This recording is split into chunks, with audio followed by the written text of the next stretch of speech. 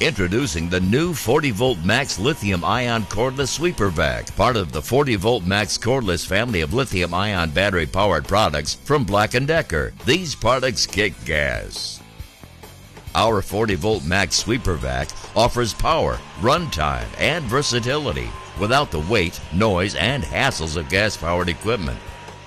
Powerfully sweep off debris from hard surfaces like decks, sidewalks, and garages in sweeper mode.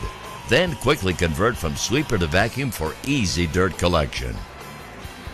Just remove the sweeper tube, attach leaf collection bag, remove the fan cover, and attach the vacuum tube. And you're ready to vacuum. The vacuum mode is ideal for collecting dried leaves and debris from hard surfaces. Plus, its mulching function reduces the volume of dried leaves by up to six times. You can also adjust the power command dial for even more control. Dial the power up for more power and vacuuming, or down for light sweeping and longer run time. A fast charger is included, while the state of charge indicator shows charge level.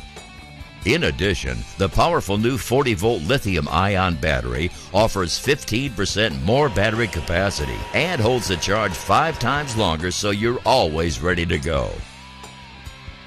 The 40 volt max cordless sweeper vac from Black & Decker.